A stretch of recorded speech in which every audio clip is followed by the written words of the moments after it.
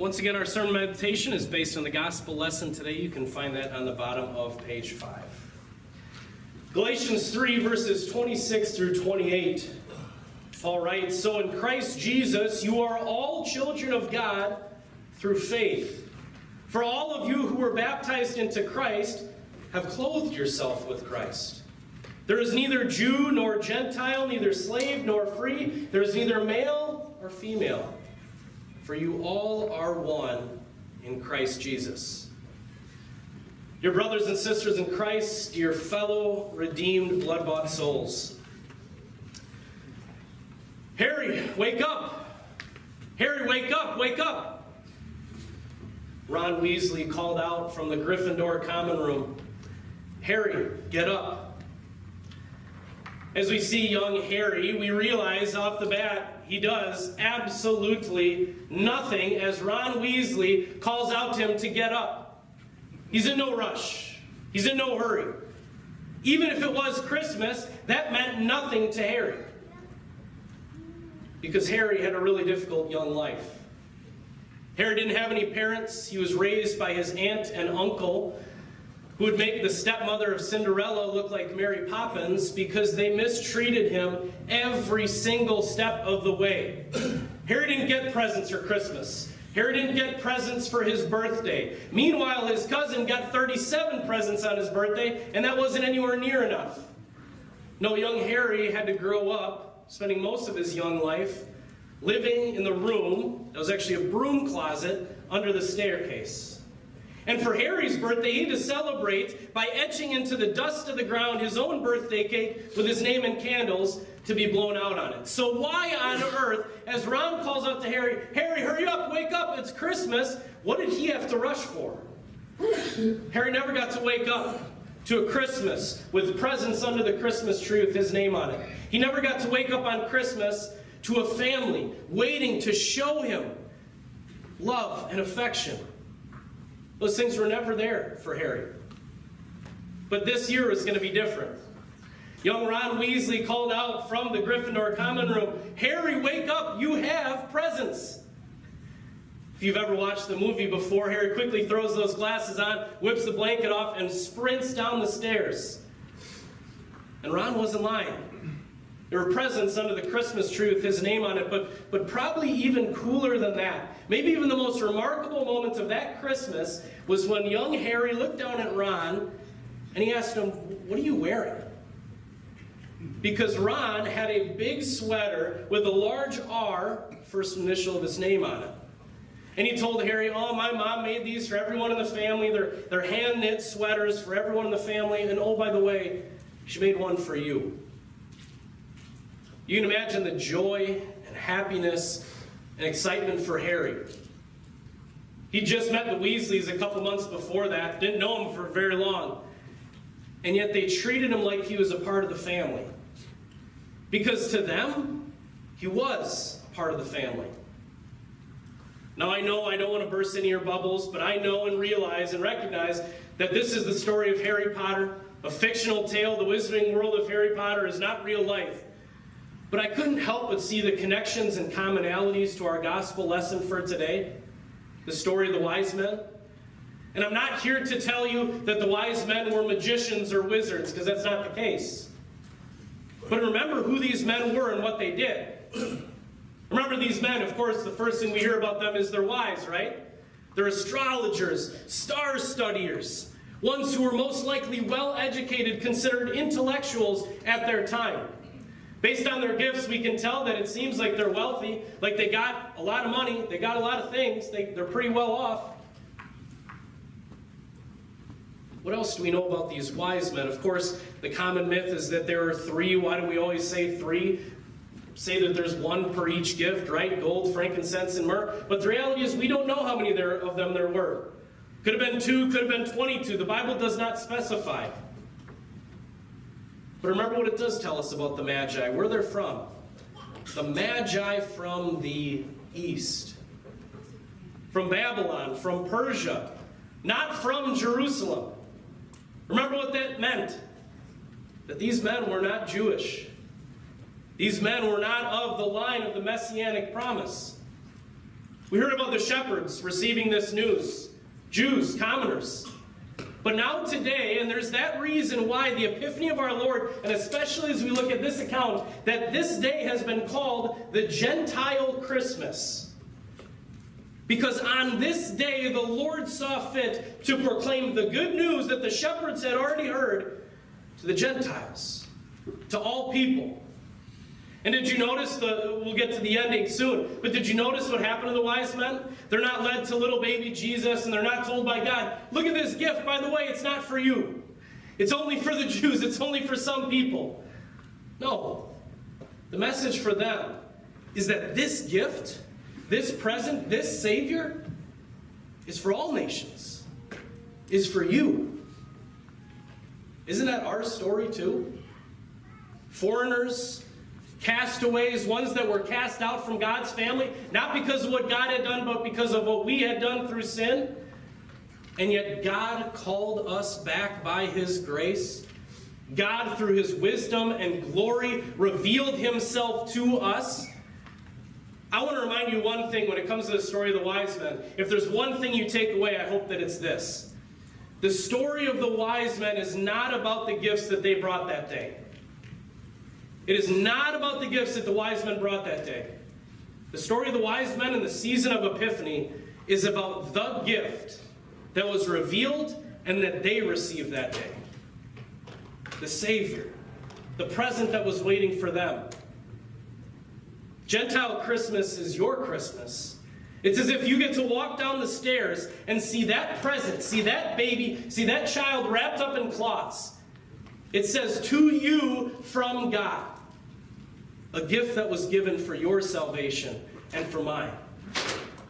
That's a gift that's worth celebrating, but we see in our verses for today, not everyone was celebrating this Gentile Christmas.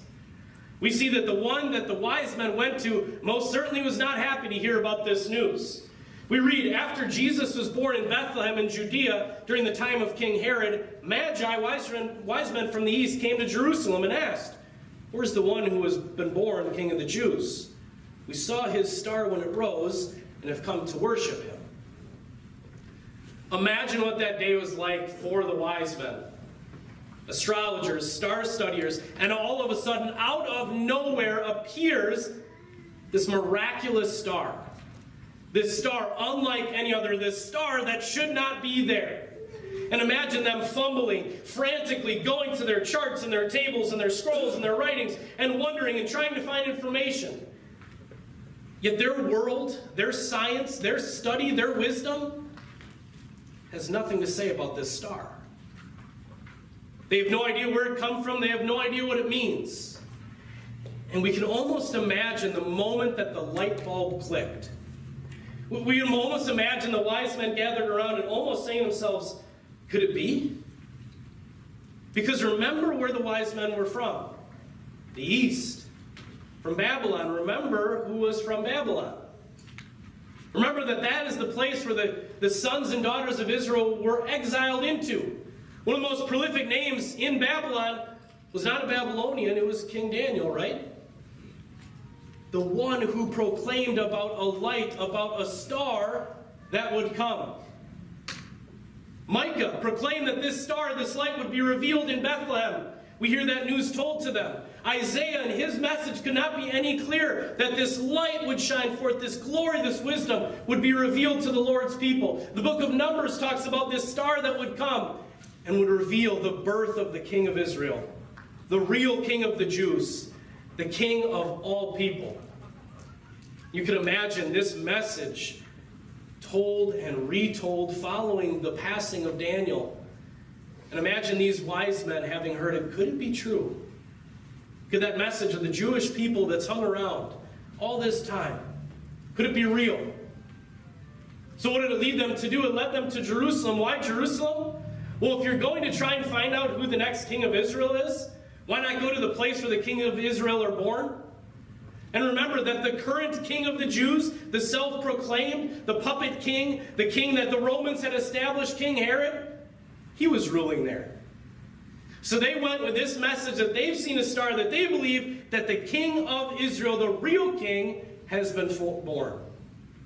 And we see how Herod reacts to that. When King Herod heard this, he was disturbed, and all Jerusalem with him.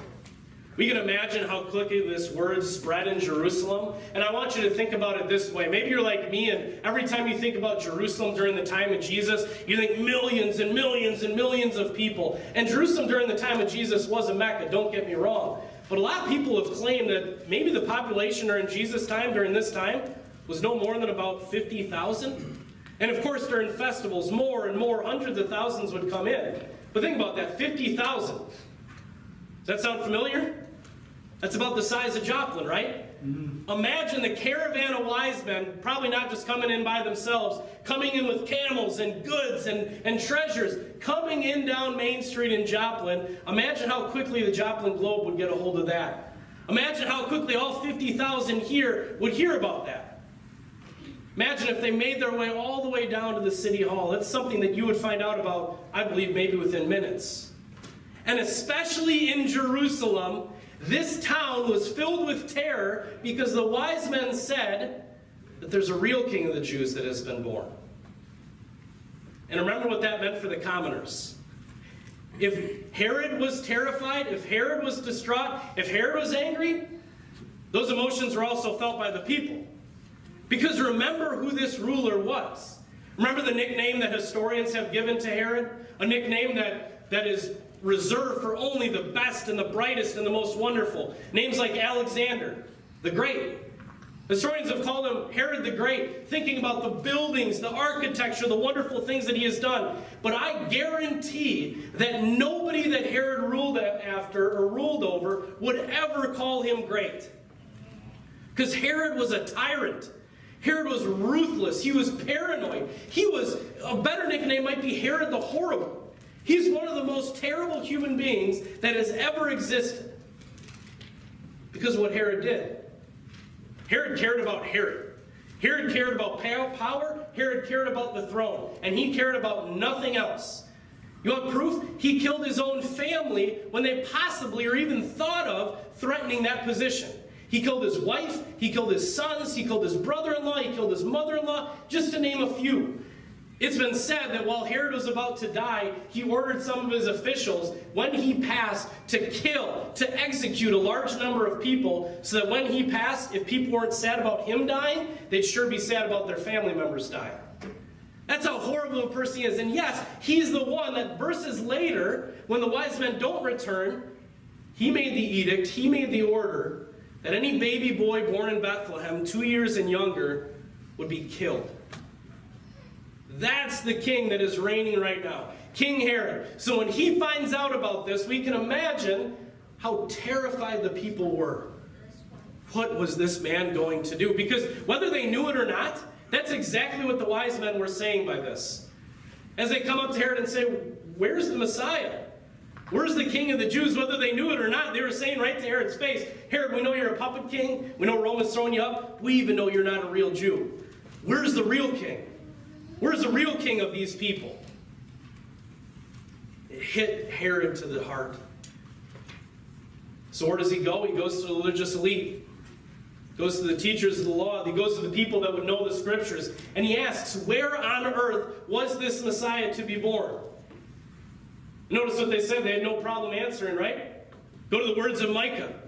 Out of lowly Bethlehem, the Messiah, that baby, would be born.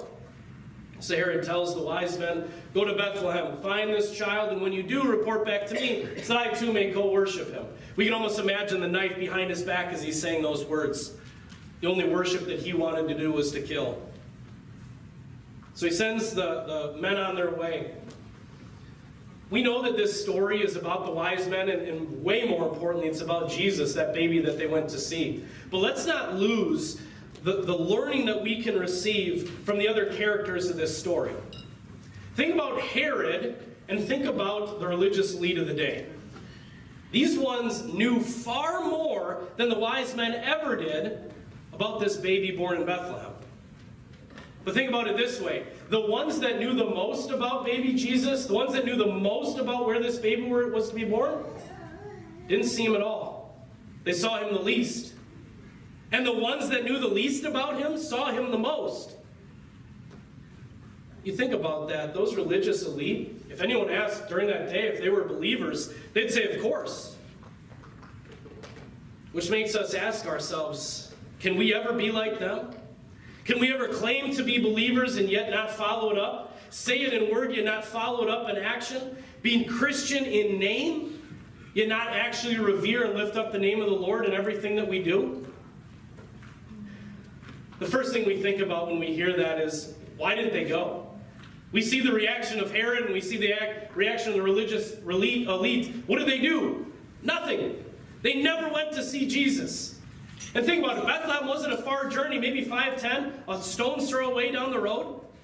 How quickly we think to ourselves, oh, if I was there, if I was alive during Jerusalem, if I didn't have a car at the time, oh, I would have taken a camel, a donkey. If I didn't have that, I would have walked. If I, I would have crawled if I needed to. I would have most certainly made my way to see Jesus. But then we think about it this way how much we grumble and complain and how difficult it is to take a nice warm shower, to jump in the car, and to drive a couple minutes to the Lord's church, to be with the Lord's house, to be with the Lord's people. How often and how difficult it is to make it to Bible study, to open our Bibles on a weekly basis. How much we make Sunday morning attendance something that we do for God rather than something He does for us. How often we make our devotionals and Bible studies a checklist of homework rather than something so much greater than that of what God wants to do in serving us. Brothers and sisters in Christ, God doesn't want nominal Christians. God does not want Christians in name. God wants followers who lift up His name above all else and who actually serve and follow Him and love Him and put Him first in everything they do. And you think about the same thing goes for Herod, right? What did Herod want to do with Jesus? He wanted to get rid of Jesus. He wanted to toss him out. If he could throw him in a bag and throw him away, he would have. We never do that, right? We never want Jesus to not be part of our lives. Do we want Jesus to be a part of our lives when we're on that date with our boyfriend and girlfriend before marriage and no one else is watching? Do we want Jesus to be a part of our life in the break room at work? Do we want Jesus to be a part of our life when we're alone by ourselves and no one else is watching? Do we want Jesus to be a part of our life on the weekends when it's party time? There's so many times when the king's edicts, when the king's orders, when Jesus' will for you in your life doesn't match up with what we want. So we take him off the throne and we set him to the side. I want to remind you all something. You're not a Christian one hour a week. You're not a Christian for one hour Sunday morning and maybe an hour Wednesday night for Bible class and whenever you open your Bibles. And you're not a Christian 51% of the time. You're a son or a daughter of Jesus Christ every single second of your day. Follow the lead of the Magi setting else, everything else aside, how often we fail to realize that when they went to Herod, they were staring death in the face and said, We need to follow this star. At all costs, there's nothing that's going to stop us. Where is this one that is the king of the Jews? So, when it comes to being in the Lord's house, when it comes to being around the Lord's people, when it comes to being in the Word, there is nothing, no journey, no travels, no inconvenience that can stop us. Because it is the most important thing in our life and a place that we need to be. Notice what happened for the Magi once they left Herod? The star reappeared. Verse 9 After they had heard the king, they went on their way, and the star they had seen when it rose went ahead of them until it stopped over the place where the child was.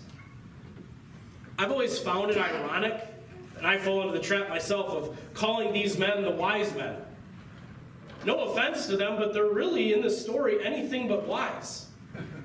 If you take God out of this story, then they're helpless and hopeless wanderers. Think about it. If there's no star, if there's no words of Micah, the prophecy that was given by Herod and the religious leaders, these wise men would have never left Babylon. And when they did leave Babylon, they would have had no idea which house to go to in Jerusalem. Did the wise men find Jesus that day? No. God revealed himself to the wise men. God led the wise men to himself. Credit cannot go to them. And the reality is, the same goes for us. No matter how long it would take us, no matter how long this scavenger hunt, if it was all on us and apart from God, we would never find him. It's only through his wisdom and through his glory and through his word that we could have him revealed to us. And I want to ask you a question today. What was the star, or what was the stars that God used to guide you to him? And, and I'm almost positive that none of you had a, a, a, new star pop up in the sky to lead you to the vine or lead you into the word. I, I don't think that happened. What I am talking about is maybe not what is the star that God used, but maybe it is who is the star that God used to reveal himself to you. Maybe it was your parents. Maybe it was mom and dad who realized that they had so much to do as parents. They had so much to teach you. But the greatest thing that they could do is bring you to the feet of your Savior. Maybe it was a friend. Maybe it was a friend that was willing to risk it all. And maybe they didn't just invite you once. Maybe they didn't invite you two or three times. Maybe they invite you a dozen times, and after a dozen no thank yous, they didn't stop because they knew that you needed this light just as bad as they did. And through them, the Lord continued to call you to Him. Maybe it was a, a, wide range of different things. Maybe it was a devotion on Facebook. Maybe it was a YouTube video. Maybe it was just stumbling upon the Word. I don't know what your star was or is, but I want to remind you two things about that star. One, remember who sent that star. Remember who sent the star? The wise men, the astrologers, the star studiers? They didn't conjure it up themselves. Once again, this isn't Harry Potter. God sent that star for them. Think about that. In eternity, God saw fit to make a perfect star, a star just for you to help guide you to Him. Take some time today to maybe think about those stars, thank God for them, and to thank them personally. But then I want to remind you another thing that star did not save you. Although they're a huge part of your salvation story, they did not bring you into the family of God. That's something only the gospel can do. But they might have led you right to the waters. They might have led you right to the baptismal font. They might have led you right to the feet of cross. And that's where Jesus did his work. Through water and the word, washing and cleansing and writing his name on your hearts to no longer be a foreigner, but to be a part of the family. No greater, no less than anyone else. Ones who receive the full inheritance of God, fully loved by him in every way. How could we possibly react to such love that has been shown to us? By bringing good gifts, right? You follow the lead of the Magi, right? What did they do in response to finding out where Jesus was? They brought their best gold, frankincense, and myrrh. And I'm not here today to tell you to bring gold, frankincense, and myrrh and place it in the offering plate. Tom's not here, our treasurer, but I don't want to speak for him or the elders who count the money. I don't think SMB, the bank, really takes or deals with gold bars anymore. And I think we're all right for frankincense and myrrh here at church. If we need frankincense, we can go to the dollar store and maybe buy some Febreze. Myrrh, no one uses that anymore. But that's not the point. God wants you to use your time, your talents, your abilities, the best of the very best that you have. Gifts that are only worthy of the King. To bring them and to lay them at his feet. That's going to look different for every single one of us but in God's eyes, equally wonderful and enjoyable for Him. But remember what God is going to use all of your gifts for. Remember what God wants to do, what the purpose is behind you bringing back everything that He has brought to you to bring more foreigners into the family so that more people may know who the light of the world is. Whenever it comes to bringing our brightest and best to God, I cannot help but think of this kid in Arizona, and I know I'm going to think about it for the rest of my life. But brings me back to my vicar year, pastor and training year out in Arizona. Uh, I had the Sunday off. I was sitting in the pew actually, wasn't preaching, wasn't presiding. And I remember during, right after the sermon, was the time when the offering would happen. And they had four ushers that would come down and they'd pass the offering plates and, and, and receive them from the pew. And I looked down the row and I remember seeing this little boy, no older than maybe five or six years old. And you can imagine what happened right when the offering started to be gathered. Mom, mom, dad, dad, can I have a couple dollars? Can I have a couple bucks? And of course, mom and dad shuffled through the wallet and handed him some cash. And this child was just the happiest kid that you could ever imagine, had the biggest smile from ear to ear, waving around the money, seeing that he had some cash. But then the elders came to his pew and, and held out the, the, the plates for him to put the money in. And you know what he did? Nothing. He didn't want to give it up. He grasped onto that like a vice grip. No way are these mean old men possibly going to take this money from me. And you can imagine his parents getting redder and redder and redder, nudging him, put it in the plate, put it in the plate. So finally, after enough encouragement from mom and dad, he throws it in the plate and he goes back and he folds his arm and sits back down. And he watches the ushers go down the row, go down the row, and collect more money. But then he sees the ushers going back, put the money together, and he sees them start walking forward. And he leans over and he nudges mom and dad with tears still running down his face and says, Mom, Dad, where's that mean old man that stole my money? Where, where's he taking it? And they looked at him and, and said, Well, he's taking it to Jesus. He's taking it to serve God. And imagine how bright and how big the boy's smile was on his face when he had that money in his hand. Multiply it by five when he realized where that money was going to serve God and to serve God's people. Whatever gold, frankincense, and myrrh that you have in your life, don't cling to it like that child. Bring it back. Give it to the one that is given to you. In whatever way you possibly can, bring gifts that are the best of the best to the King, to the one that has given them all to you. Serve him so that more foreigners may know what he has done for them. When I think about it, that Gentile Christmas, it hits home because that's my Christmas too. I don't know if you've had family members, I've never done it, but I've had family members do the whole Ancestry.com thing or the 23andMe blood tests. I don't know much about my family, I haven't looked into them too much, but I do realize and know that every single one of those tests came up with 0% Jewish blood. So if it was based on that, I wouldn't be up here right now and I would be a goner. But the story of the wise men, the story of that baby that came for a world full of foreigners to bring them into his fold, to bring them into his family, is my story too. And I know it's your story as well. And when it comes down to it, the Gentile Christmas is the Jewish Christmas too.